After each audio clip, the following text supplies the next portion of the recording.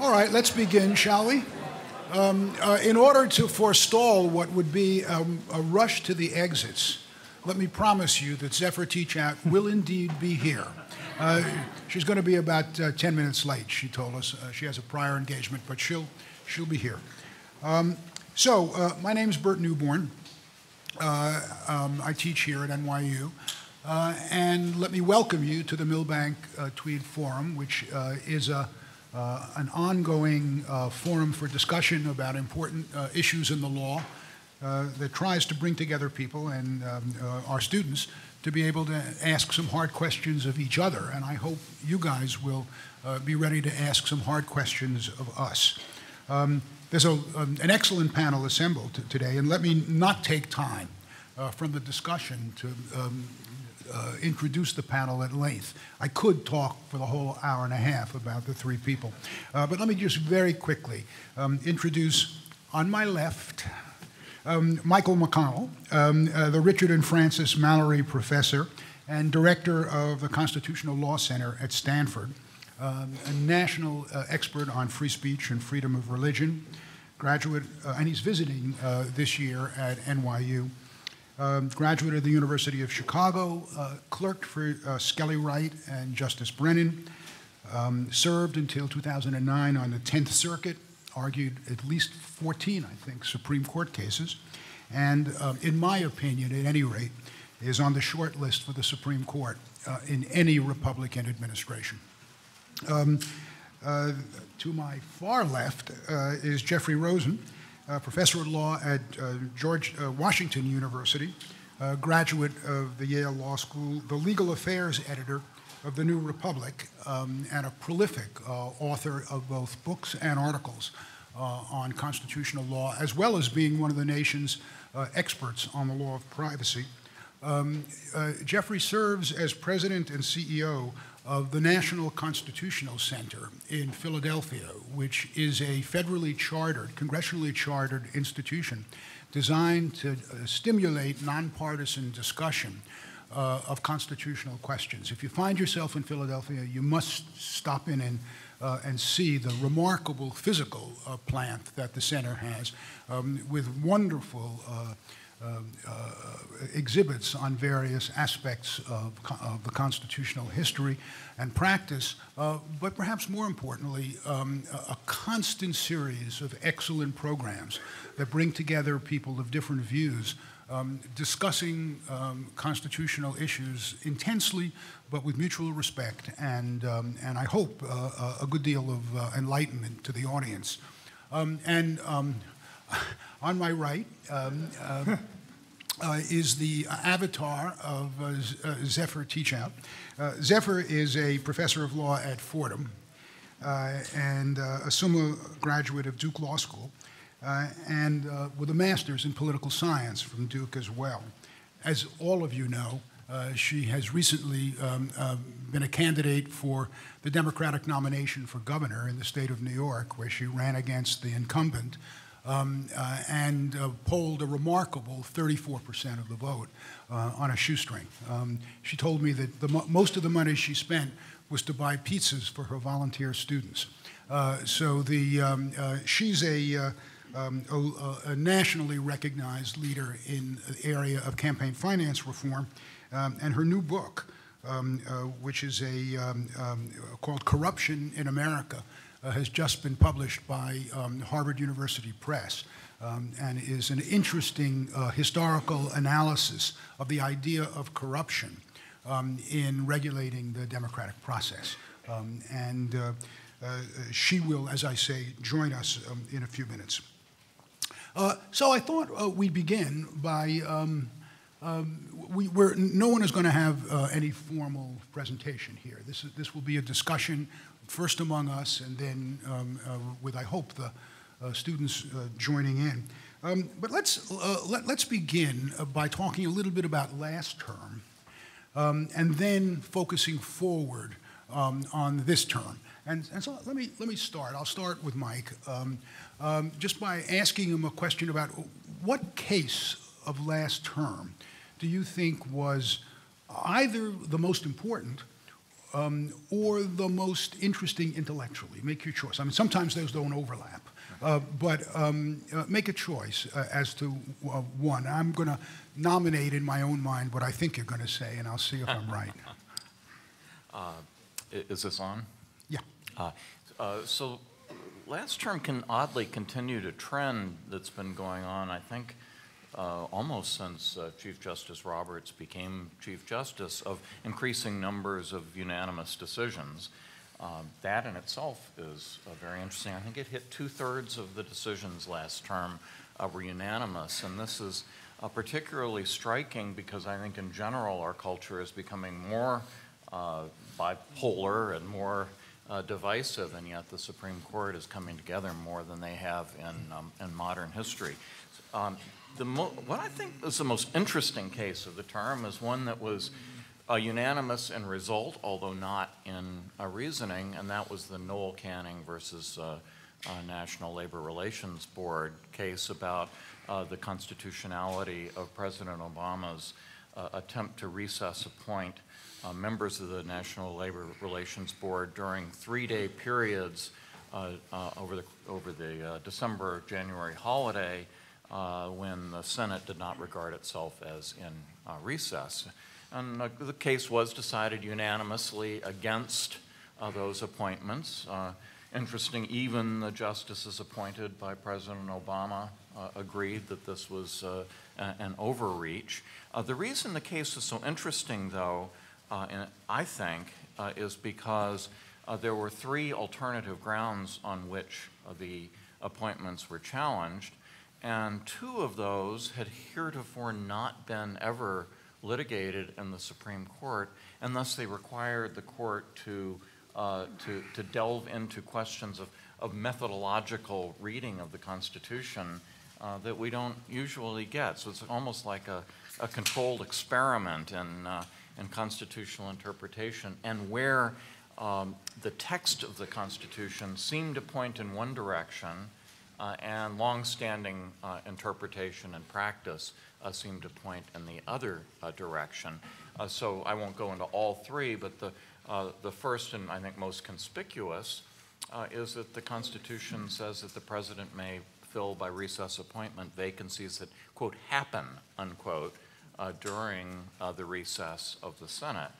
Um, and at the beginning, with George Washington's Attorney General uh, Randolph, uh, it was held, happen means happen. That means that the president can fill only those vacancies when the vacancy actually takes place, uh, becomes when the office becomes vacant during uh, the recess. Uh, but beginning in, uh, uh, under the Monroe administration in the 1820s and extending you know, all the way to modern times, the presidents have adopted a different view and, and named recess appointments when the uh, vacancy continues to exist uh, during uh, the recess. Now, this may not sound all that uh, you know, exciting from a political point of view, but this is a clash between you know, two of the most important uh, uh, means of interpreting the Constitution, that is text and history on the one hand, and longstanding interpretation on the other, and the courts split five to four on that methodological question, with five of them going with a long-standing interpretation and four of them uh, indignantly insisting, no, that the text and history had to uh, govern. Um, do you think that the, that, that case, uh, just moving forward to this term, just predicting this term, um, uh, we had a brief discussion. I, I would, um, I would amend just a brief thing uh, that Mike said, although I'm not sure uh, it's wrong, but I would, I would uh, er, question one aspect of it. it um, Canning did um, involve a collision between two visions of how you read the constitutional text. Um, a kind of originalist, literalist vision that said it's the words, and it's the words, and it's the words. Um, um, and another vision that said it's the practice. Um, it's the, uh, and where the practice deviates from the words, um, the practice has to get some uh, special consideration also. But I think that um, just calling it the practice, it was a practice rooted in a kind of functionalism.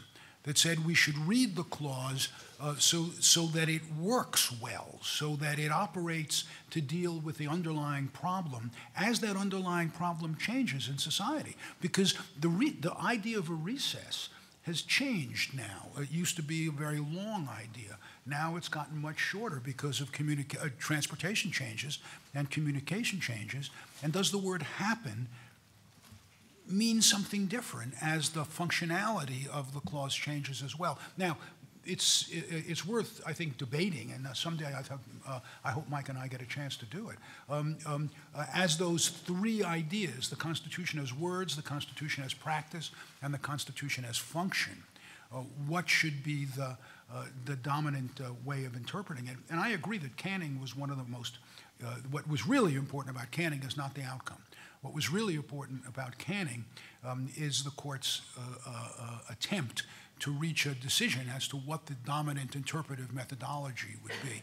You, you think I'm wrong on that, Jeff, or, or Mike? Or well, I would just say, as to functionalism, the problem with that is we don't know, you know, whose functionalism because people who want to maximize presidential power, which in this administration might be Democrats, but in the former one were Republicans, and the next one might well be Republicans. Who those who want to maximize presidential power uh, would love to see every brief recess an excuse for recess appointments. But if you look at the actual historical function, the reason for the clause was in, in an era when it took uh, a month to get from the extremities of the country to the capital, and they were out on recess for eight or nine months out of the year, it was uh, it was a serious, and, and where there was only one officer in most departments, uh, the government would come kind of to a, to a halt uh, without it.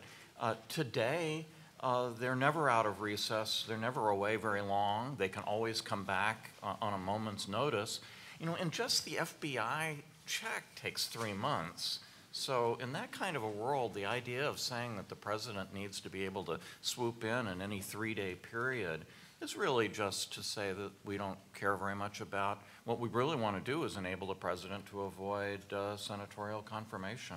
Uh, and uh, uh I think people often want to do that when they're, they like the president and don't much like the Senate, but I can't think of a good sort of nonpartisan uh, reason to think that's uh, functionally a superior system. What do you think? I would like to, well, first of all, thank you for this wonderful introduction and plug for the National Constitution Center and to try to recruit all of you, ladies and gentlemen, for our inspiring nonpartisan project. Because every day and every week on our website, constitutioncenter.org, we are bringing together the best scholars in the country from the left and the right to debate not political issues, but constitutional issues. And these podcasts are being co sponsored by the Federalist Society and the American Constitution Society. This is a diplomatic coup, the only place that's bringing these two friendly uh, interlocutors together. And you can listen to the podcast, but also write for our blog and help us organize these debates and be part of this really thrilling national project to have civil constitutional debates that brings all sides together. So I'm honored to be here. I want to take up the broader question that Michael introduced. And first, I want to stop to say hooray for Zephyr Teachout, who's about to arrive. Yay!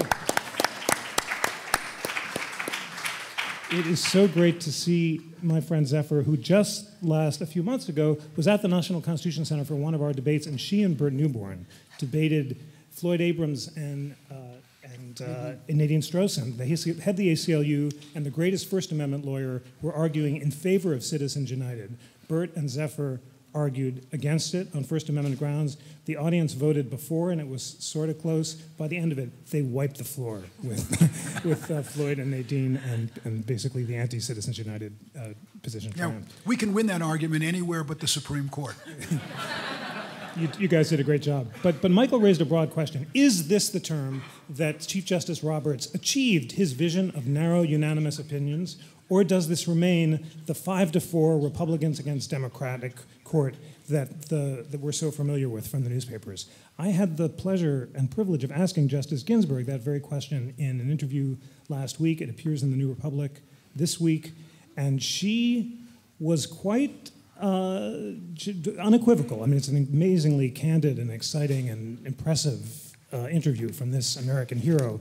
And I said, you know, you know, 66% of the cases were unanimous. Is, is, Roberts actually pulling it off? And she says we were unanimous in the bottom line, but the figure is deceptive because of the disagreement among the people who joined the ultimate judgment. She talked about Noel Canning and said there are questions of major importance, and the court divided sharply on those issues.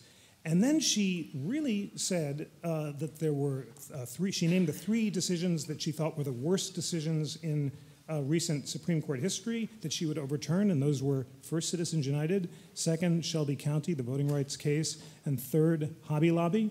She said that she thought that Justice Sandra Day O'Connor would have been with her and with the liberals in all three of those cases. She suggested that Justice O'Connor regrets her decision to resign because of the fact that she's concerned about the direction in which the court is going. And she explained why she made it a priority. She is making a basically the question I asked her is what's what's going on uh, here. First of all, uh, you know, on the one hand, there are, there are two courts. On the one hand, you have this attempted unanimity by the Chief Justice, and the other, these five to four decisions. And you are being so fierce in criticizing your conservative colleagues. Why, having been considered a cautious minimalist when you were appointed, are you are you speaking with such power? And she basically said that she sees it as her role as the senior associate justice to write the lead dissent herself or to assign it to one of her colleagues and to discourage separate writings. And I asked why, and she said, because of Bush v. Gore. Basically, there we didn't have enough time, she said, to become to write with one dissent, and the press was confused and the message was diluted. So she thinks it's important to be uh, unified among the liberals and to be strong in criticizing the decision she thinks is wrong. She even suggested, you know, there's a difference between Justices Breyer and Kagan, who in some cases have been more willing to compromise than Justices Ginsburg and Sotomayor. In the Hobby Lobby case, Ginsburg and rather Kagan and Breyer wrote a separate uh, dissent, uh, making their own views clear. And in the Affordable Care Act case, they famously joined Chief Justice Roberts on the Medicaid issue when Chief Just, when uh, Justice Ginsburg uh, and Justice Sotomayor refused to join. And I asked her why she didn't think the compromise was a good idea, and basically she suggested that as an advocate, she viewed it as her role to write briefs that would persuade the other side, that sometimes it was important to be forceful in expressing those views, and she didn't think that compromise was productive. So I basically she think. actually used the word advocate to describe her position? No, I used the word advocate when I said that she was the greatest advocate of her generation as the head of the ACLU Women's Project, and asked whether her position as an advocate had influenced her vision as a justice, and she said it absolutely did because my role as an advocate was to persuade by writing briefs that justices could take directly from, and as a justice, I think my, my role is to persuade. But I think, and this is a theme I'd love to hear Zephyr and the whole panel on, it's clearly a battle for the soul of the Roberts Court. I don't have any doubt that the Chief Justice is sincere when he talks about his desire to achieve narrow, unanimous opinions. He said that in many interviews when he was appointed, including a long one with me, where he really said, I think it's important for the court and the country in this polarized time to avoid these five to four decisions. I think that vision of institutional legitimacy influenced his Affordable Care Act vote case. And it seems that this past term, Breyer and Kagan especially really sort of embraced him in this goal and tried to get the court to be unanimous. I'll close by saying uh, I think the most exciting decision was Riley, the cell phone search case, because to see all nine justices, all nine of them, agree that when well, not me, but you're arrested, for example, and someone seizes our cell phone, all those cases that say you can open up any closed container like a cigarette packet don't apply because a cell phone is not like a cigarette packet because our entire lives are contained on this device. And a search of a cell phone, Chief Justice Roberts said, is like the general warrants that sparked the American Revolution. And he quoted James Otis and John Adams and said that's the core of what the Fourth Amendment was designed to protect. So I think the fact that all nine of them signed on to that is an expression of Roberts' vision of unanimity at its best. And if he can pull it off in a case like that, I hope that he'll be able to do it in some of the big cases this term.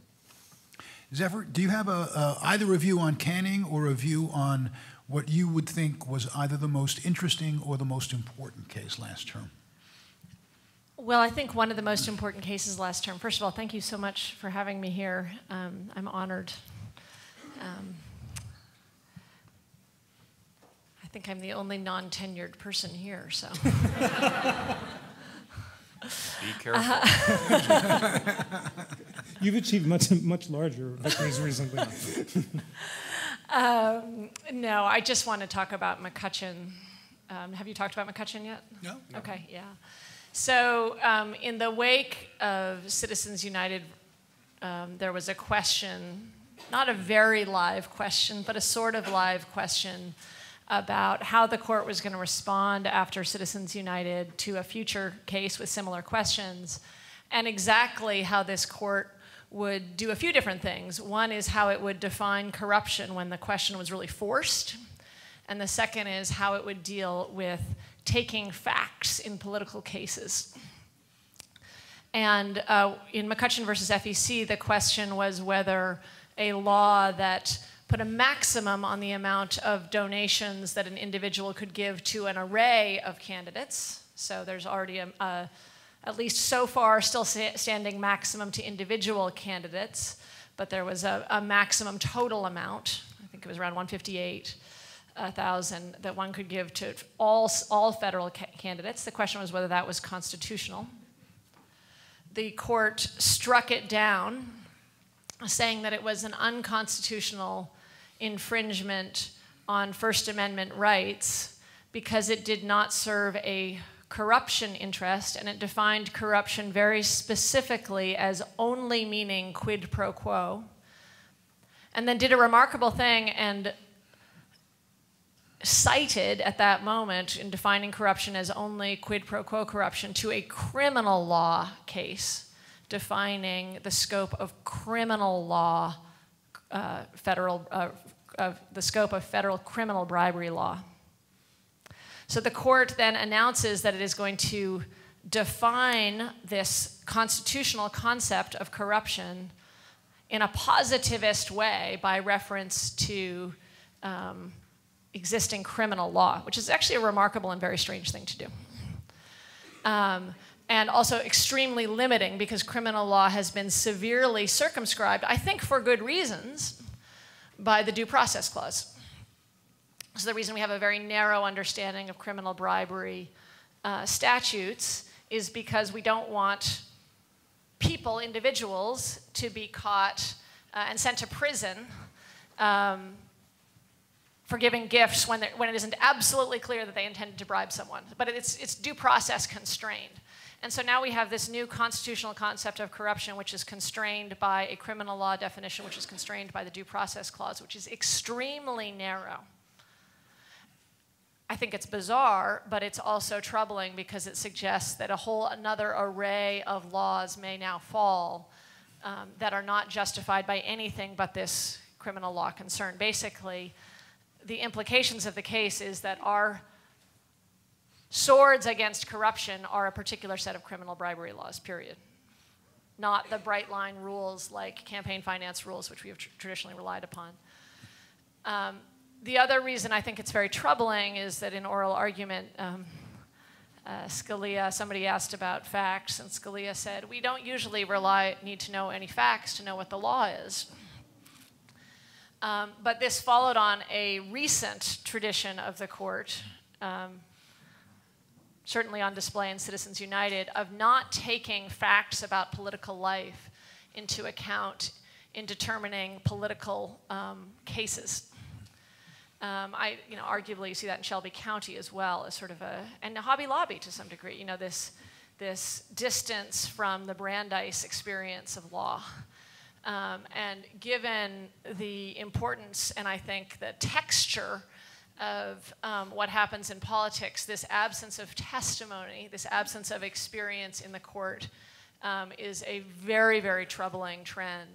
Um, and uh, I also found, I guess, it important and troubling that there was not actually the, the, the morally outraged dissent that I would have liked to see in McCutcheon. Um, a couple years previously, uh, Kagan wrote a very beautiful dissent in an Arizona case. Um, and in this case, the dissent was drier, more technical, as was the oral argument. There was no, you know, speaking to the question of building dissents.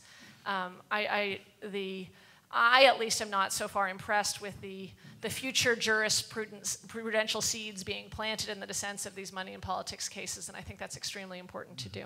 What would you say an appropriate definition of corruption is? Um, I mean, I take it that if the justices were here, the majority justices were here, they would say that criminal law um, uh, narrowly looks at corruption because of, as you point out, due process concerns. Um, wouldn't it be an equally uh, valid argument to say that we have a very narrow view of corruption uh, in political speech cases, uh, driven by the First Amendment, driven by the fact that we want a narrow vision of corruption because we don't want um, uh, uh, excessive regulation of political speech. I think it is far more legitimate to balance the anti corruption concern against and along with the other First Amendment values than to rely on a, a, a, definition of corruption that is narrow for other reasons. So I think instead one should have a broad definition of corruption, then legitimately weighed against these expressive values, mm-hmm. but not uh, awkwardly and artificially narrowed and, and, and what's the concerns. definition that you that you uh, urge in your new book, which by the way has been very well reviewed? Um, the, uh, uh, Zephyr's new book on corruption. It came um, out two days ago. Two days ago, and was I got a great review in the Wall Street Journal. Uh, so, uh, what what is your the view of corruption that you think the court should adopt? Well, first of all, I resist the definitional urge that treats corruption as something like theft, where you define it in a statute, and more suggests that we think about it like equality, federalism, or the First Amendment, where we take a broad set of values and don't try to get a single sentence to define it. Having said that, here's my sentence. no, corruption is when those in public roles serve private ends instead of public ends. Okay. Um, that's, that's, that's pretty broad. And I must tell you, as a, as a lawyer, after Buckley, I ran with that idea for a very long time and hid equality in it. And so what I wound up doing is saying that anything that violated my conception of political equality corrupted the process. Um, and a broad won't a broad definition of corruption inevitably um, force you to overturn the uh, holdings in Buckley that says um, fostering political, political equality is not a compelling interest? Well, I, I don't have a problem with overturning Buckley. and I don't, as, as Burt knows, I think that equality is a separate and completely valid concern that should separately be weighed. In fact, the awkwardness of Buckley is it made Burt pretend he was a corruption scholar when in fact he's an equality scholar. in fact, I'm no scholar at all. no, no. I mean, but there's no, he did it this very openly. But that the awkwardness of Buckley versus Valeo is it actually forces scholars to lie because it says the only concerns are corruption concerns and uh, um, and First Amendment concerns, when in fact, when it comes to structuring the way an election works, there's a whole array of concerns that come into play. Let me, and, guess, yeah. uh, let me guess, Michael, you, you don't disagree with McCutcheon. Um, I'm not. I, I, think McCutcheon's a pretty hard case, I, and I. But what I don't disagree with is Zephyr's view about what corruption is, and certainly if we take a, a historical view, the word corruption was used very frequently by our founders, and their idea, they were not referring simply to quid pro quo uh, uh, corruption.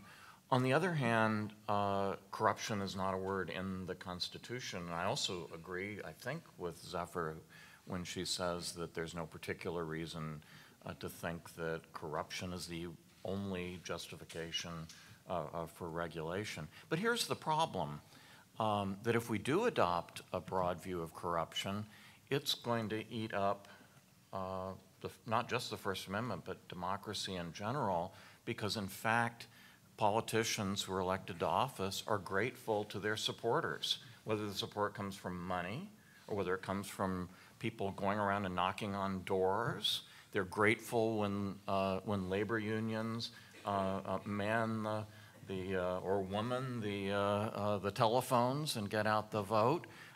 they, are, they are grateful for political support.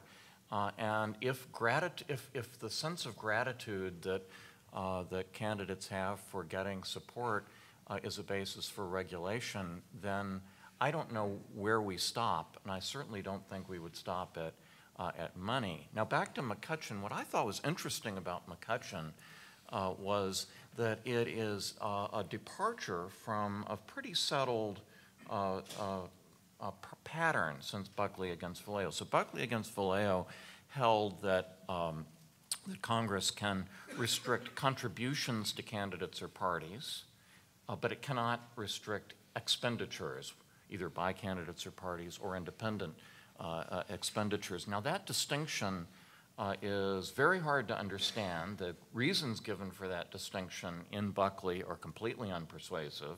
I suspect that's another point upon which we might uh, uh, agree. And, um, and there has never been a majority on the court that agreed with the distinction.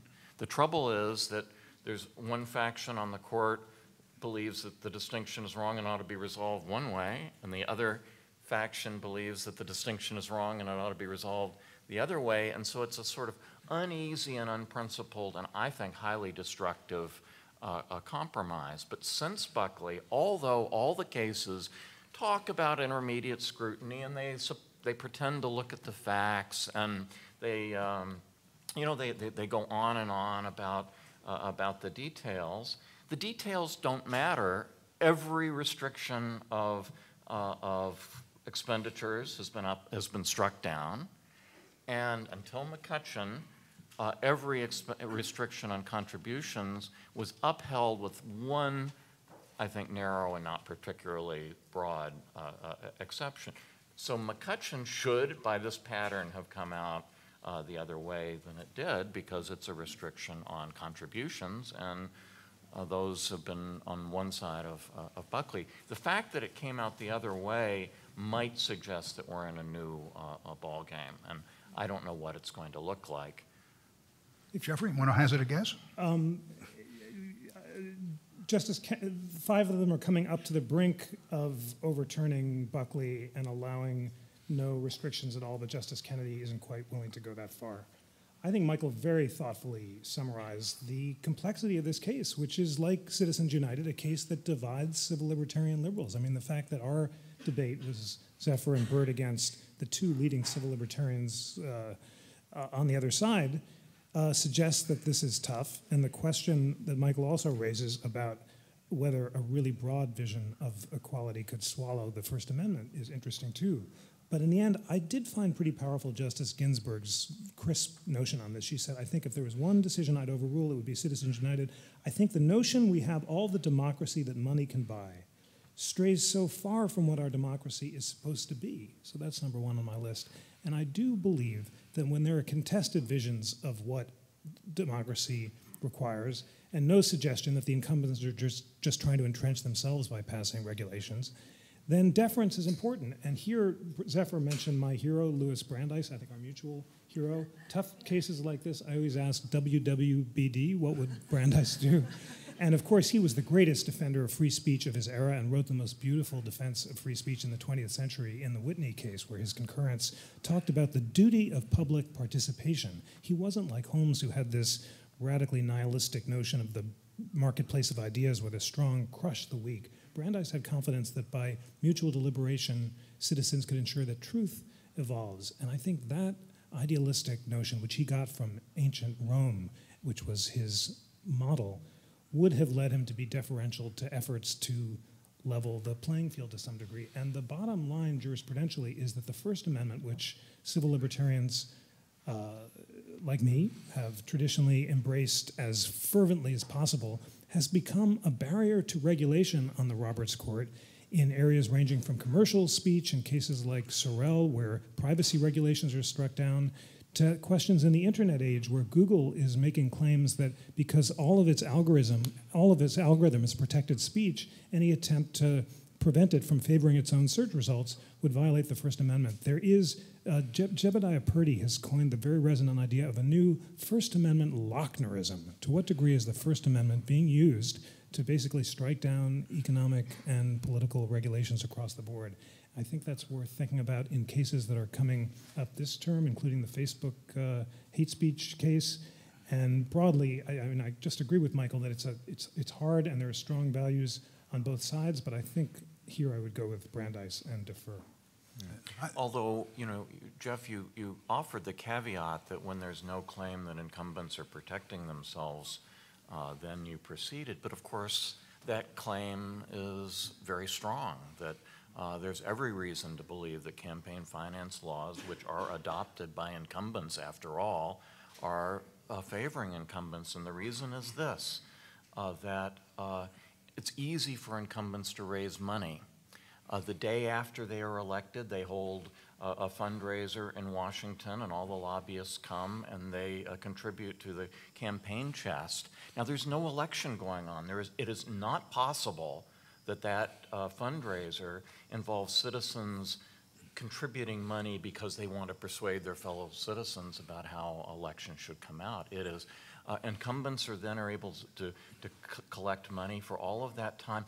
The harder it is to raise money during the election campaign, the bigger the advantage that uh, incumbents have. They know that, and that means that every restriction on the ability of people to be able to raise uh, campaign cash benefits incumbents. Now, maybe uh, there's some uh, countervailing uh, benefit to be gotten from that, uh, but uh, I don't think we can just blithely assume that this is all good government going on an argument like that wouldn't apply. Zephyr should respond because she knows this. I, I was just going to say the Arizona case, which is, involves public funding, is hardly an example of incumbency protection. But, but, but I actually think this is a yeah. I think this is a very legitimate argument. The problem is it isn't the argument the court makes, and that I think that um, what I'd like to see. And this is actually where we're probably not disagreeing as a method. Is I'd like to see a more explicit discussion of incumbent protection as the concern as opposed to clothing it in the mm. First Amendment and separating those out as different concerns? Well, I mean, since Buckley, you're absolutely, you, you commented that, that Byrd is required to lie. Everybody talks about things that don't matter. And the whole doctrine is not designed to call attention to what does matter. This is not the only area of law where we see this. Affirmative action is, if anything, an even more conspicuous uh, example of where nobody talks about what really matters. Well, I think I, I, think what I'd like to see is uh, Michael come up with an so, example where people do talk about what really matters. um, it, it, may be not only just in those two areas, uh, but we've backed in, ourselves. Sometimes they do in the area of religion. Sometimes, sometimes. I, I, I agree. Um, I, I, think, I think Jeffrey has pointed out, though, uh, um, uh, uh, an important sort of general First Amendment point that may be a good idea for us to use to pivot uh, into some new cases. But um, he points out that there appears to be on the court now two visions of the First Amendment. One, the First Amendment as a deregulatory device that essentially takes government out of the business of involving itself in the uh, flow of information um, and is a very powerful, um, uh, essentially negative mechanism that pulls government out. And that once the court pulls the government out, the court then doesn't have any responsibility, moral or legal, for the world that is, uh, exists once the government's been taken out the, um, that's, I think, the majority vision of the First Amendment up there now. The, the, um, the um, minority vision the, uh, the, is a vision that says, no, the First Amendment is not simply negative, it's aspirational. It's designed to um, um, help us reach um, some form of uh, ideal, either free market and ideas or ideal uh, operation of a democracy. And that we can't um, simply say, once we've applied the negative vision of the First Amendment, we've done our job without asking what the effect is on the actual speech market that we're trying to help. Um, um, and if you ever wanted to see a perfect encapsulation of it, take a look at the debate between Just, Chief Justice Roberts at the end of McCutcheon and Breyer's dissent. Uh, where they where they um, essentially talk about what their uh, um, responsibility is. And Justice Roberts says it's not our responsibility to build a great democracy. It's our responsibility to enforce the First Amendment. And Breyer says the First Amendment is all about building a great democracy. Um, and so it's the collision of those visions, I think, that we're going to see in lots of other areas. So um, reluctantly, let's move. We could spend a long time on campaign finance. I've spent 35 years and not made any progress at all. Um, um so uh, let's, let's move off it. Um, let's look forward to this term for a second. Uh, then I, I want to save some time for Hobby Lobby uh, because if we're going to look backwards again, uh, we ought to look backwards to Hobby Lobby. But let's look forward um, and uh, do a little prediction about what uh, the most important cases this term are likely to be um, and, uh, and how either we want to think they may come out or not come out, but why we think they're so important. Jeff, why don't we, why don't we start with you? Well, I, just because I mentioned it, I'm awfully interested in this Facebook First Amendment case called Elonis, uh, which is being argued on December 1st. So, this is a guy who wrote some really crazy and troubling and threatening things about his wife on Facebook that she construed as actual His- his ex-wife. threats. His ex-wife, sorry. Yes. I'm not sure if she was his ex-wife when he wrote this stuff, but she absolutely was after reading it. And, and uh, man, so so and, and his defense is basically, I was just joking. It was Facebook, and I was fantasizing. Well, you know, because he used to put, what, what are those things called? Those Smiley faces. Smiley faces. There would be, there was, I'm yeah. going to rip her heart out with a nice little smiley face there. Just, just kidding, just kidding. Yeah, sometimes I really want to kill you. don't, don't- not thinking about it. So the, here here the questions presented, kind of technical, whether consistent with the First Amendment and Virginia v. Black, conviction of threatening another person under this statute requires proof of the defendant's subjective intent to threaten, as required by several courts, or whether it's enough to show that a reasonable person would regard the statement as threatening, as held by other federal courts, and whether as a statutory matter, conviction of threatening another person requires proof of the defendant's subjective intent to threaten. Generally, the courts are extremely reluctant to require proof of subjective intent. Burt and I were talking about this. We all know from Crim Remember the Whren case, and the question is, can the cops, they really want to stop the guy for drugs, but they claim that they're stopping him because he has a broken taillight. Is it okay to stop him and then find the drugs? And the courts say, yes, it doesn't matter what the real purpose was. Pretext is irrelevant. It's too hard to delve into someone's subjective thoughts. We're just going to require some objective test. But those who study the statutory questions much more closely than I told me at a Supreme Court preview at ACS last week in Washington that in fact they predicted that the subjective intent test would be adopted and that as a statutory matter the courts would have would, would say that the guy actually had to subjectively intend to carry out the threats, not whether a reasonable person would construe them as threatening.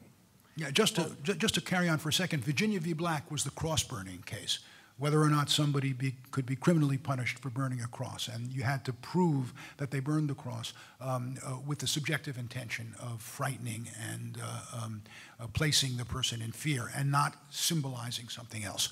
Go, go ahead, Mike. No, I was just going to say that I don't think that there's any reluctance to look to subjective intent when you're talking about private people and, and individuals, and especially in the criminal area. I do certainly there's a reluctance to look at subjective intent when looking at legislatures or even police. That's the Whren case, government uh, actors. But uh, most crimes uh, require actual subjective uh, uh, intent, and, and that's what that's what juries do. What makes this case, I think, particularly interesting as a cultural matter, even if not as a legal matter, is that his actual defense, I don't think, is based upon being the emoticons or Facebook so much as it is that apparently um, many of these threats were uh, uh, taken out of rap music. Um, now, I confess that I'm not au courant, um, uh, but there is an amicus brief which was filed by two uh, uh, rap musicians uh, saying, look, you need to understand that this, that these horrible things. Do you know what he said? I mean, this is just a quickie. Uh, there's one way to love you, but a thousand ways to kill you. I'm not going to rest until your body is a mess, soaked in blood and dying from all the little cuts. Hurry up and die, bitch, so I can bust this nut all over your corpse from atop your shallow grave. But aside from that, I really love I it. don't. Uh, I, I, I mean, Um, hey, it's just poetry, right? And actually, that is I know, that's- that's apparently the defense, is that this is just uh, poetry. And uh, I, I, that's what I think. And so it- it's going to get a lot of people very interested because of the, the culture clash between uh, a, a rap music world in which people say things that are really pretty uh, uh, off-putting uh, to uh, in a world of nine justices who like to go to the opera. Um, you know, it'll be interesting to watch. Uh, Well, but as to whether the subjective intent is going to be required, I'm inclined to agree with what you say is the majority. I think that's of an extremely likely outcome. It, it is tough on the internet, though. There was a riveting case last year of a guy who was in a cannibal fantasy group, and writing about his desire to not only kill but eat his ex-wife.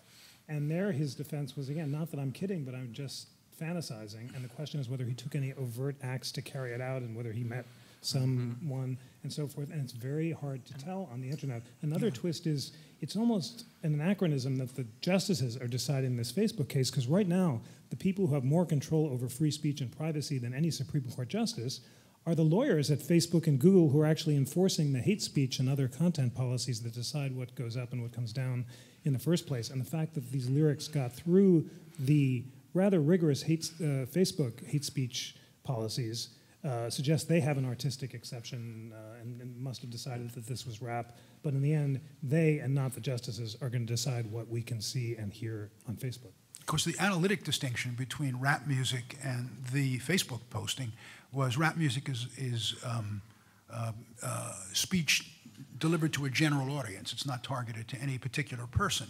Um, and um, and, uh, and I, I think would join with everybody on the panel uh, in um, arguing for very strong free speech protection for uh, something like that. When you take the words of a rap song uh, and change it into a direct um, uh, a communication aimed at a particular person, um, you may be changing the context of it, and you at that point may actually be changing the level of constitutional protection. Um, and part of it uh, really is uh, ask again one of these high theory questions: What's the who's the First Amendment supposed to protect? Does it protect only the speaker? Or are there hearer protections in the First Amendment as well? Is it a process of speech from the, from the speaker to the hearer, or, or does the, do the protections just stop at the, at the speaker uh, area? Want to weigh in? Have, um, yeah, yeah, no, I mean, this is the way, I'm, we're not going back to campaign finance, but this reminded me of Citizens United in a way because of the way the. Everything reminds you of Citizens United. no, but because of the way that uh, people talk about it as the Facebook case but it's the way it explodes in Citizens United. The question is what is press and what is not, and that was sort of a subsidiary question. And here is who is an artist and who is not, and what kind of audience do you need to become an artist? So, you know, as a Guns N' Roses generation person, I think of I used to love her, but I had to kill her. Nobody here gets that joke. I'm too old. Thank you. I get, it. I get it. I get it. Or there's Outlaw Country, but it was very clear in 1987 that Guns N' Roses was an artist and not my ex boyfriend writing me a letter. Here, there's a question of who, you know, if this were Guns N' Roses or, you know, whoever, Outlaw Country with these lyrics, we would have one view. If it was somebody writing a letter in 1988, we'd have another view. And now we have this intermediary form because many of us, I would say, try to be a little bit poetic from time to time on social media with hope of gaining some kind of audience. It's like our little coffee house moment. And so I think it actually pushes the institution of artist and the question of what constitutes an artist in a really interesting way.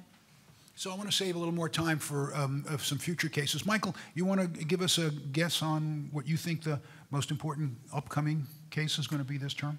Um, so far, so far, it's pretty small beer. The um, the cases are interesting, but I don't see any earth-shattering cases that are yet scheduled for argument. There's some uh, the, some of the cases in the wings, like uh, the same-sex uh, marriage case or the Affordable Care Act case about the exchanges, could have, if those are granted, those would be more like blockbusters.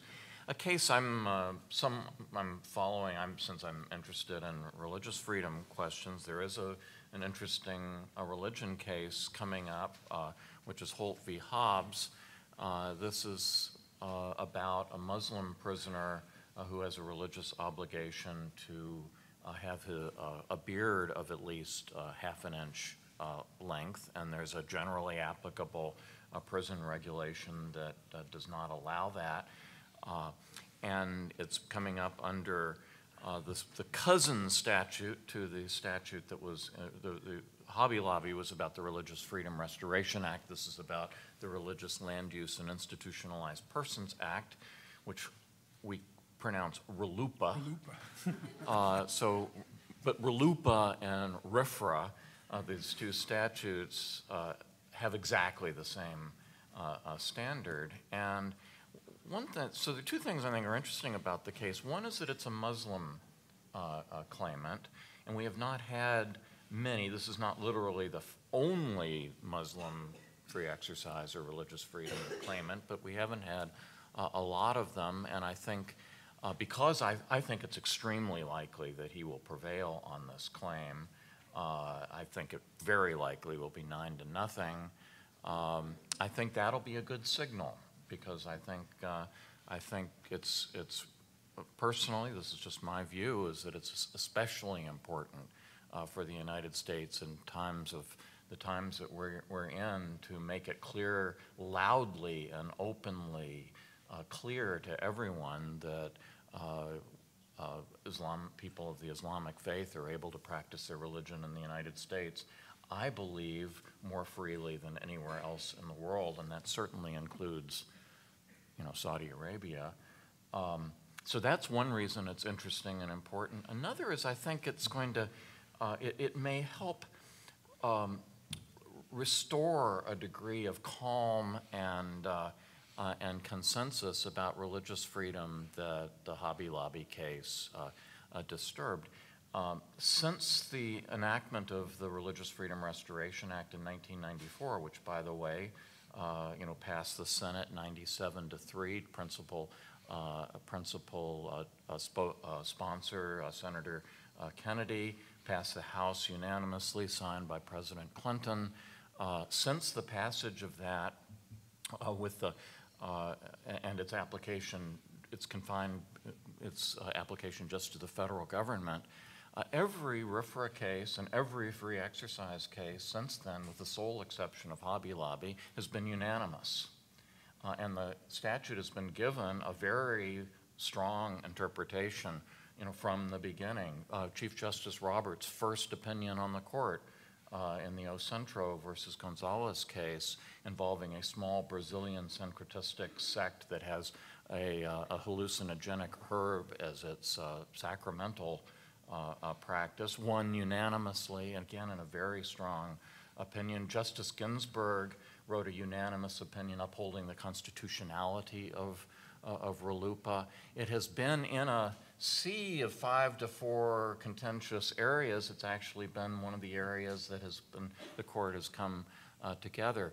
Uh, Hobby Lobby, I think, was a, uh, was disturbed that, and the qu one question is, is Hobby Lobby a, a, blip, or was Hobby Lobby a, uh, a, a, a harbinger of, uh, of greater controversy over the proposition uh, that people who hold religious views that are contrary to the prevailing views of the society reflected in the laws uh, should be able to practice those unless there's a really very good reason uh, to the contrary. So I, that's what makes this case uh, important to me. Yeah, my prediction is that it's nine nothing. Um, it, it, will be a unanimous decision and uh, um, and a welcome unanimous decision. You agree? Uh, um, we ought to remember that uh, these two statutes overturned a very narrow vision of the free exercise clause uh, that was espoused by Justice Scalia in 1990. I mean, the reason why the statutes, I think, are receiving such um, um, both unanimous, uh, I wouldn't say unanimous, but widespread support,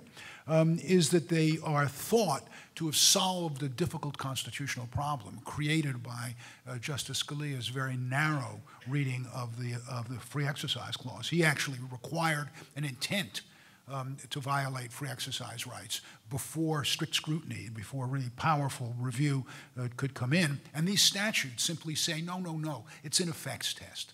As soon as there's an effect on somebody's uh, religious rights, the government has to show an absolutely very important reason before they can cut back on that. And I think if there's one thing that we all agree on in this society, it's that um, uh, so that there is, I think, uh, a good deal of unanimity. So Hobby Lobby, let's take a, uh, a couple of words uh, about Hobby Lobby.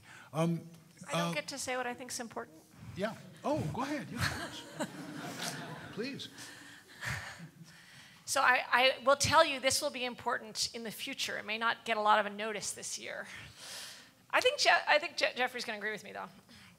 I think there's a pair of cases about dentists and Amtrak that are really interesting. And sounds like the beginning of a barroom joke. I was going to say. so a dentist I got agree on. with you, even if Jeff does. As someone who spends most of his time right, so on a dentist, a dentist, a dentist gets on the Amtrak train. Yes. Go ahead.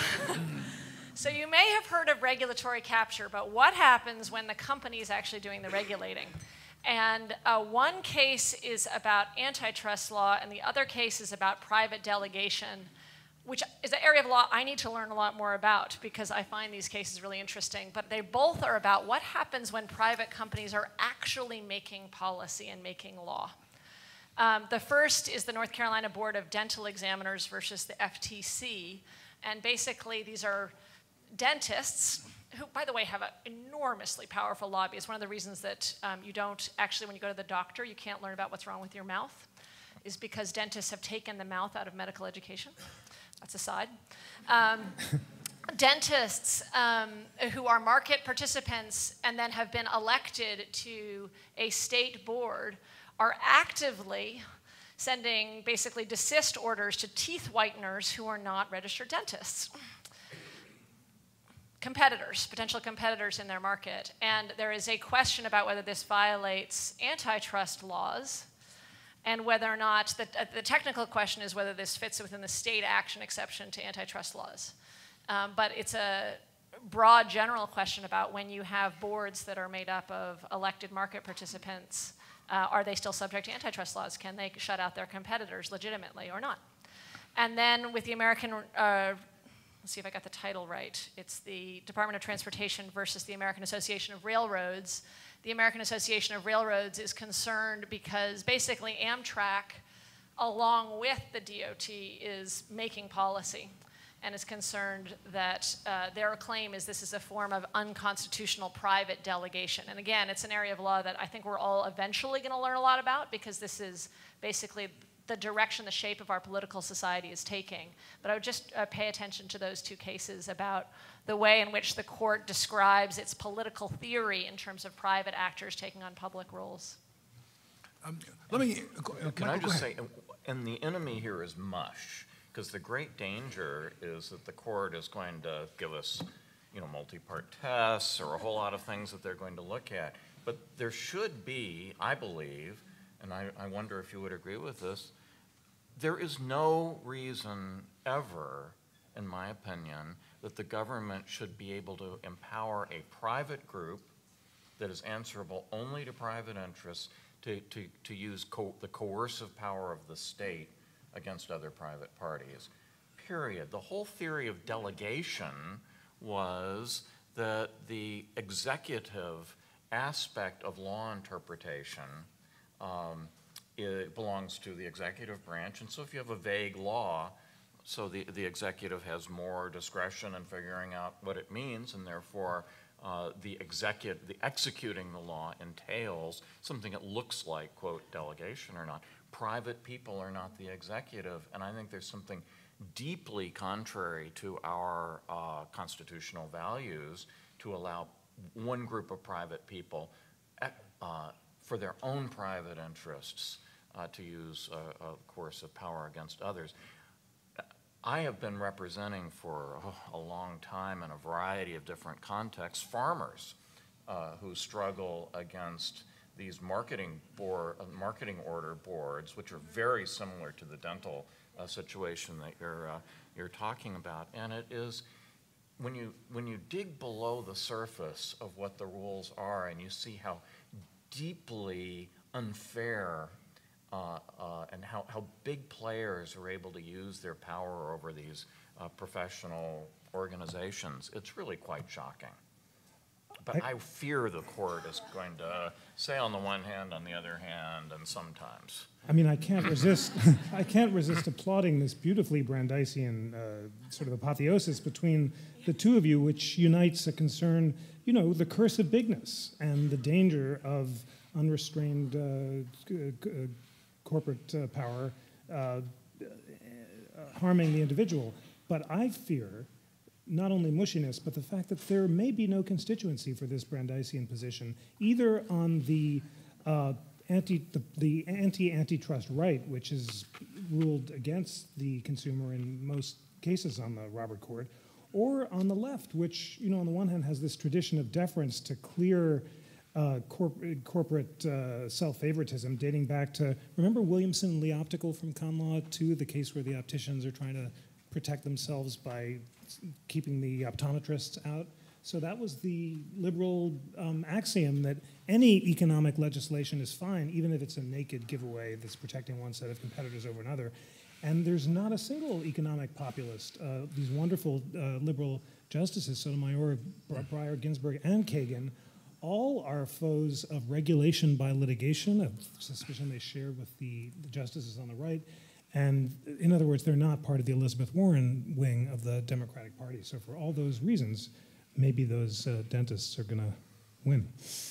So, um, one last um, uh, stab at a future case, and then we'll open it up to the um, audience. Um, um, uh, remember, when, when you speak from the audience, and I hope many of you will, use the mics because this is being recorded uh, for use by the Justice Department in loyalty and stuff like that. Um, and, and we want to be able, and we want for future, and we want to be able to get your voice and your um, all the information we can get. But it is being recorded for reasons that I do not know. But uh, uh but uh, and there will be a, and there is a fingerprint. Yes, yes. So, so please please cooperate um, uh, and consent to its I just want to assure you it's for your own good. Um, uh, uh, I think the most important case next term is, uh, uh is going to be uh, Alabama Democratic Conference uh, versus the state of Alabama, which um, I have a strong view about how it should come out, but the case itself, it, it's a reapportionment case. and it's a reapportionment case involving the last Alabama apportionment of its legislature. Um, and what Alabama did is pack large numbers of black voters uh, into a series of um, um, overwhelmingly black um, constituencies, which would elect a significant number of black members of the Alabama legislature. But of course, the effect of that is to drain the surrounding constituencies of black voters who would tend to be Democratic voters in that, in that area, and therefore make it easier for the Republican Party uh, to win larger and larger majorities um, in the House. Um, and ironically, um, uh, we start in a, in a interesting way. Alabama's defense is the federal government made me do it. The federal government made me do it because the old Section 5 of the Voting Rights Act that was struck down in Shelby County, they argue is a strict retrogression argument that said we can't have any fewer blacks in any of the counties, any of the election districts than we had 10 years ago, the last time we apportioned. And the only way that we can bring the black population of, the, of, these districts back up to where they once were is to pull black voters from the surrounding areas and prop up these districts. Otherwise, we would be guilty of violating Section 5. Um, and we didn't, so we, we, we, had a good motive. And the good motive was that the Mino federal government made us do it. Um, and therefore, you should uphold uh, this apportionment because it was not um, motivated by any improper racial considerations. And so the interesting issue is going to be, um, at least I think the most interesting issue is they got Section 5 all wrong. Um, Section 5 never required that kind of absolute um, um, um, uh, uh, uh, number of, of, voters to prevent retrogression. I think this is one of these many cases, and this is sort of the general um, um, issue, where there is a pretext going on, where Alabama is using Section 5 uh, incorrect interpretation of Section 5. But Alabama is using an incorrect um, uh, interpretation of Section 5 to justify doing something for another motive. And the motive is to, um, the Republicans are in control of the uh, apportionment process. They want to increase Republican majorities in the state. And this is a problem, I think, that cuts across almost all. When I was joking uh, with Michael about can we find anywhere where people talk about what they're actually doing, um, my sense is that we are trapped in a world of pretext. Abortion gets regulated um, how wide the corridors have to be, how, um, uh, um, how, many, how many feet you can have uh, between this and that, whether the doctor has to have admissions privileges. There, is there anybody in the country who doesn't realize that this is an effort to create transaction costs, making it harder and harder to have abortion, that it is aimed at preventing abortion. It's not about public health. Um, uh, we have a voter ID coming up out of um, uh, uh, Wisconsin, or early voting coming up out of Ohio. Um, now, there are pretextual justifications for it. Um, one is that um, uh, fraud has to be uh, snuffed out, and the, the ID will help do it. The other one is the early voting turns out to be too expensive, and therefore we don't want to do it. But does any, I don't know, I'm, maybe I'm uh, the, the leading cynic in the world. Does anybody have any doubt that what, that what that's really driven by is a desire to manipulate the election? Um, and to make sure that your people vote and the other people don't. And I don't know that we have any tools in the legal toolbox to get at that, to get at the question of pretext. Um, and, and I frankly don't have any solution, but it strikes me as being a problem that should be confronted, maybe confronted in a Supreme Court amicus, um, on, the, on the difficulties of dealing with pretext and whether or not we should be developing doctrines to minimize the ability to actually mine the dead space between the norm and the reality by creating pretextual justifications. Uh, I'm, I'm, sure. So, uh, Michael, I'm sure Michael has got something to say about it. Uh, well, I do. I mean, I just think you're only halfway cynical enough, uh, because because when there are, there are two political parties, and one party benefits from uh, from having er, more early vote, early voting. The other party doesn't, and the same thing with IDs, and the same thing with with a number of other things. They both, the parties, care a whole lot more about what the electoral consequences are. And I don't know how you decide if the if the Constitution is and the and the laws are are neutral, don't say anything about whether early voting is required or not and the Democrats want it and the Republicans don't, I don't really know how the fact, and I agree with you that it's all pretextual on both sides, is going to tell us which party gets to get, gets to win. And, and let me comment on the on the uh, North Carolina case too, because uh, this is old. This is this is old news. Now you say you mean the Alabama case? That, um, I, the uh, yeah the Democratic yeah. Party of Alabama case. Excuse me. Um, it's true, of course, that Section 5 never required this. It's very hard to know what Section 5 actually uh, required because what you had to, what states needed to do was that they would submit voting changes to the voting rights section of the Department of Justice, which said yes or no. And they didn't necessarily follow the law. They had their own uh, intuitions and maybe even their own political uh, uh agendas, if we want to go uh, you know, whole hog on the cynicism. Um, and it was very widely believed that if you wanted to get your changes through uh, the voting rights section, that you better not have any diminution in black voting strength. But it was obvious from the beginning, and the beginning here, I think, is the mid 1980s with Thornburg against Gingles case, which I worked on when I was in the Department of, of Justice, it was always obvious that there is an unholy alliance between black political leadership and the Republican Party in the South.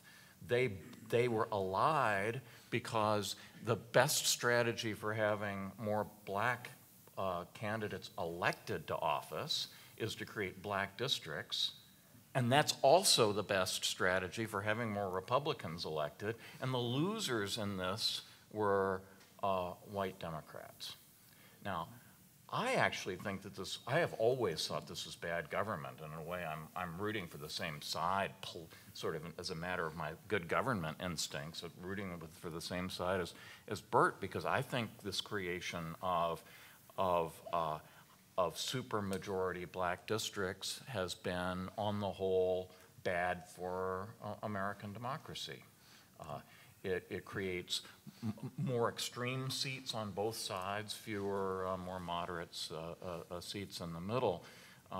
but I think it's a little, um, I, I, just think the, the, the poor people of Alabama must be getting whiplash when they found out that the very things that they were once being required to do by the voting rights section are now going to get them in, uh, in trouble uh, because, uh, and I think the only change really in, that's happened is that uh, uh, people uh, in the Democratic Party have ch- are changing their mind about whether this strategy that they used to pursue is really in, in the interest of the party.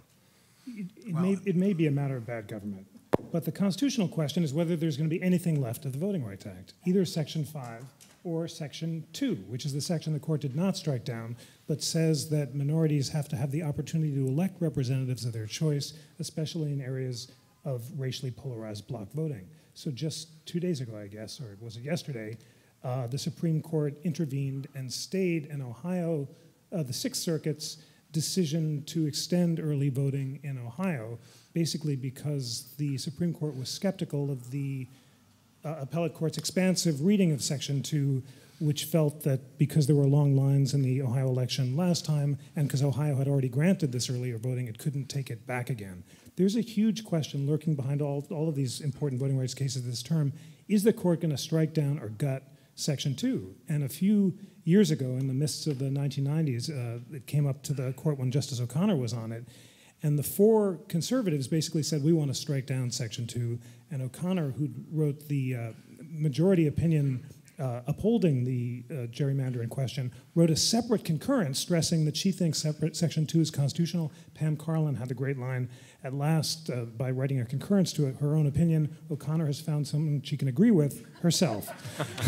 but uh, both the question of whether Section 2 can justify these um, actions in both cases is crucial, and we'll see what the justices think. I would just end by saying, look, it may be bad policy, but conser- the conservative justices are supposed to be avatars of judicial restraint and deference to legislative choice. They say they don't believe that partisan gerrymandering should be regulated, so it's fine to favor one party over another. Why is it then legitimate in these cases of mixed motive where counties are both trying to comply with federal law and also to maximize their own incumbents? Why is racial gerrymandering the only thing that has to get struck down? So, um, um, in, an, in, a massive exercise of self restraint, the four of us are going to stop talking, which may be the first time in human history that that's happened. Um, because we want to leave some time for you guys to ask some questions. So, take advantage of the fact that you will never again see the four of us silent at one point. So, um, uh, any, any questions um, from the panel, uh, from the audience? And there's a mic out there? Yeah, right, right, right to your left. Hi, Lisa Kerr. I'm a doctoral student here. I was a little surprised to hear the panel um, say that with respect to the Muslim prisoner case, that this was going to be such an easy case for the court to decide. Um, I actually think that, you know, at least over the past decade, that the court has shown extraordinary deference to the professional judgment of prison administrators, even in cases where prison regulations implicate fundamental rights. And just to give one example, Beard v. Banks in 2006, it was a First Amendment case. The prisoner wanted access to a newspaper in his cell held under very, very, very restrictive solitary confinement. Not only does the court say the regulation that says no newspapers is fine, it, they actually uphold a summary dismissal of the case. So it's one of these cases Professor Teachout's worried about where the facts don't even really seem to matter. Um, so I was a little surprised to think you thought that would be such a straightforward outcome. Well, we can be, I mean, maybe we're going to be wrong, but I think the, the, uh, the is it an irony or at least sort of a surprise uh, is that when the Supreme Court watered down the free exercise clause in the case Burt was talking about uh, that Justice Scalia wrote, uh, and, and then Congress replaced it with a statute. I think most people who were advocates of religious freedom thought that we were getting second best. You know, we'd rather have the Constitution interpreted correctly than a mere statute. But I think the paradox has been it's gone the other way. I think that judges are more willing to give a strong interpretation to a statute than they are to say the Constitution requires that. And I think the reason for that is that uh, it, the statute represents a policy judgment by our Democratic representatives, exactly. and they can always repeal it if they want to. And so, whereas the Constitution is a kind of anti-majoritarian uh, thing, and it's uh, and and it can't be can't be corrected. So I think the fact that the case is going to come up under a statute rather than the Constitution uh, will make a huge difference. Yeah, and, and I actually think that um, uh, that for theoretical purposes, um, if the difference between the First Amendment case that you point out and this is this case has a democratic imprimatur.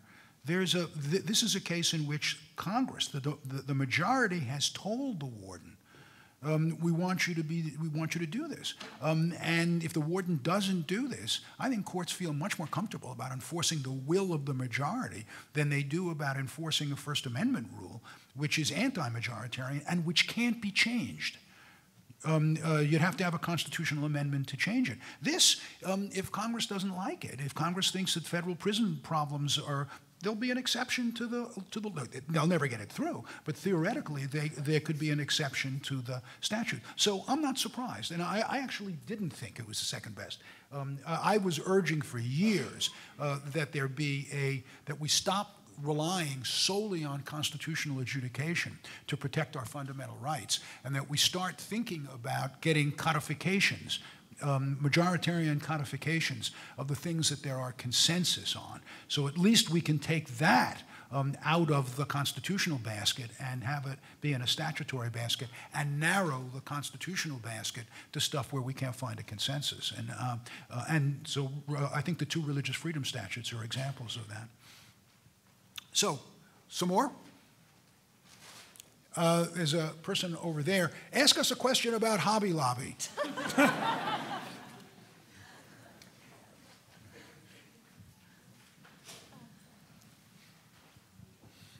I apologize, I, I, arrived late, so I don't know if you addressed this or not, but there's a case with, uh, before the Supreme Court this um, uh, during this um, setting of the agenda this year um, that's um, 13-10066, and it's a housing discrimination case, and it actually involves NYU, and I'm wondering if you uh, believe that that will be put on the agenda. It asks some significant questions, such as um, whether or not the piercing of the corporate veil has been addressed properly. It asks the question of whether or not there's another court that can hear cases that uh, where uh, an in, uh, an individual party has exceptional uh, reach with the courts, um, whether or not there's another court other than the Supreme Court that can hear uh, the case. I mean, that, may be the case may be there. I don't think any of the four of us know it, so I don't think we can uh, we can uh, comment on it. Um, so if you're not going to raise Hobby Lobby, you know, I, am not. I have no I have no pride. I'll do it myself. Um, uh, I'm Linda Taverdi. I'm a research coordinator at the Center on Civil Justice across the road. Um, in terms of Hobby Lobby, um, I, the, it, it, you talked about it in terms of RFRA, but I would like to hear what you have to say about Hobby Lobby in terms of let's assume that the free exercise rights under RFRA are a good thing and that statute's a great thing. My question is do those rights belong to a corporation and closely held or otherwise? And isn't that kind of the problem with Hobby Lobby? You want to take first? Oh, sure. um, uh, this was the portion of Hobby Lobby which was decided five to two, uh, where uh, Justices Breyer and Kagan did not agree, did not join with uh, Justice Ginsburg's uh, dissent. I'm actually not surprised at that. I think the the argument that corporations aren't covered has, it, it, it's really easy to make, but very hard to establish because corporations, in fact, exercise every other uh, uh, First Amendment right. Uh, they exercise every constitutional right of which they are capable, uh, not because they're corporations, but because real human beings use corp corporate form to achieve collective uh, objectives, and there's no particular reason to think that corporate form is inconsistent uh, with, uh, with doing that. Um, and, and we impute to corporations, in criminal cases, we impute motive to corporations by looking at the motives of their, uh, of their uh, leadership. We even, we even regard, corp did you know that corporations have race? They can be African American or Caucasian. Did you know that? Uh, for purposes of affirmative action programs, corporations in the contracting area are treated as having race. What do we do? We impute the race of their, uh, uh of their owners to them.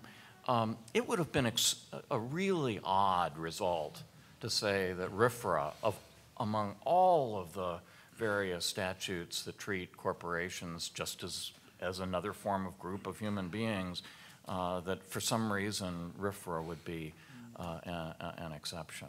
Now, here's an area where I think Michael and I really do disagree significantly. Um, uh, I have no concern about pro, uh, treating corporations as separate legal entities and as vesting them with very significant rights um, um, in the area of economic activity. I mean, after all, the whole reason we created the corporation was to provide efficiency in the marshaling and use of capital. And it would be self defeating to say that this entity, uh, which was created for economic reasons, um, can then be um, badly treated by the government in ways that would prevent it from carrying out its benefits. So I have no trouble with 19th century law saying that corporations are persons within the 14th Amendment. They're entitled to due process protection. Um, I have concerns about saying that corporations um, uh, are, um, uh, are, are vested with what I call dignitary rights. And I would disagree with Michael about one thing corporations don't have Fifth Amendment rights. They don't have Fifth Amendment rights because the Supreme Court held that they don't have souls. And since they don't have souls, those souls can't be placed in jeopardy by being forced to be a witness against themselves. So uh, for, uh, since 1903, corporations don't have Fourth Amendment rights, uh, don't have Fifth Amendment rights. If they don't have Fifth Amendment rights, it's not so clear to me that corporations have First Amendment rights. Now, people in the corporation and that's why I don't think Hobby Lobby holds that corporations have constitutional rights. I think what Hobby Lobby holds is that small family owned corporations should be viewed as the economic reality that they are, and that, that they are simply a small group of people who have gathered together uh, for common economic purpose and use the corporate form because the corporate form is useful. Um, um, I look through the corporation at that point and say the real actors here are the family members, and um, maybe we should think about whether they should have religious freedom or not, but not because it's a corporation. Um, it's because it's a group of people involved in that. The court was very careful to say we're not necessarily saying that Alcoa or United States Steel or the big transnational corporations um, have, uh, have these kinds of rights. Um, it's just the small ones. And the interesting thing is, um, should we, what does that say about those corporations uh, having limited liability? Um, if you have a small corporation who can turn off separateness for religious purposes, can a creditor turn it off to collect the money against the shareholders. I mean, um, um, the Chamber of Commerce, the United States Chamber of Commerce, didn't file an amicus brief on Hobby Lobby. And I think I know why. Because they're nervous about the impact of this on the corporate structure generally, on corporation law generally. But um, uh, this is an issue for which I definitely hope that the um, Milbank Tweed will set up another panel on, on, on, the, on the role of corporations in American life. Let me just say, let me thank the panelists, let me thank the audience, uh, and let me say,